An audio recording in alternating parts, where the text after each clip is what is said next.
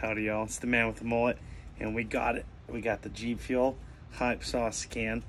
This happens to be one of my favorite flavors in the entire world, and I've been talking way before these cans even came out that I wanted a Hype Sauce in a can, and here it is.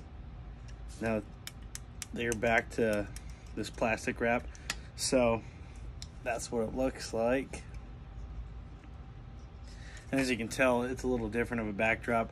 I got this. I'm not by any of my system or anything like that.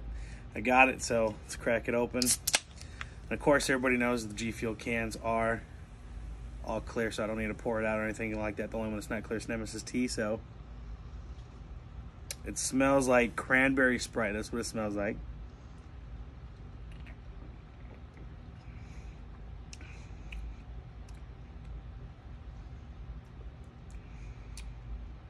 It doesn't taste like tub at all.